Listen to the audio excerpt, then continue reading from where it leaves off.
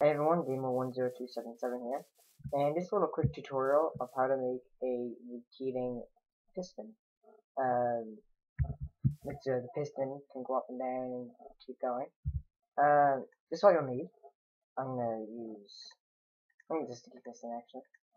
And you will need a redstone repeater, redstone, and a piston torch, and basically, that's it.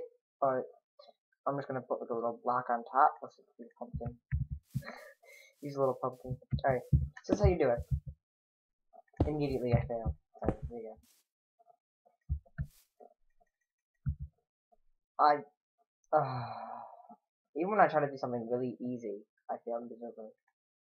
Alright, here you go. There you go. Alright.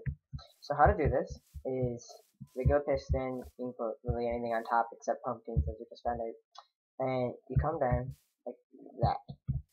Now, what you do is put a repeater there, repeater there, repeater there, repeater there. You connect these up like that, and then what you want to do, space these out. Uh, you can just change the speed, the speed of how fast it goes. This is going to be slow when you uh, space them apart. If you put them really close to each other, this thing's going to go brrr, a little noise there. Alright. Alright, so this is how this is what it will look like. You see how to make it. I would start like um going in anti-clockwise direction. A non-clockwise or anti-clockwise, I don't know what you say. Uh go backwards. Go like this. And place them down that way. Makes it a lot easier. And what you do, you lay the switch down and break it immediately. It goes up. See, repeat it, it'll keep going. And to stop it, all you have to do is break one of the redstone. And then it stops the whole thing. And then you can, what I'm going to do now is up, up the speed. Like that.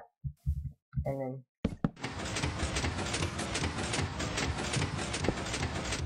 See, and that's what you can do now. Glitch! Glitch! Alright. Now, you probably want to, like, uh, a lot of people would use that for different things. Um, I'll show you over here what I made using uh, the repeating redstone tech, whatever you want to call it. As you can see, it's a car with its hood up, and what I made is a working four-cylinder engine. Oh, move back here.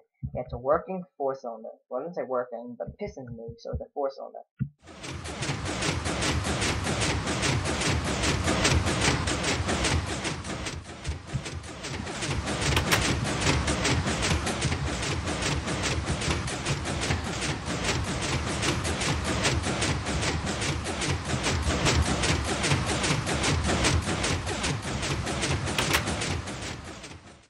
That's my tutorial on how to make a uh, repeating uh, piston. Um, yeah, hope this helped, and I'll see you in the next video.